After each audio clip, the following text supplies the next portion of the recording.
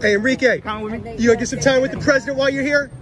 You gonna get some time with the president while you're here? The President's gonna pardon him. I'm gonna have some time with a nice hamburger right now. Steak. All right, Love man. you. Love you too.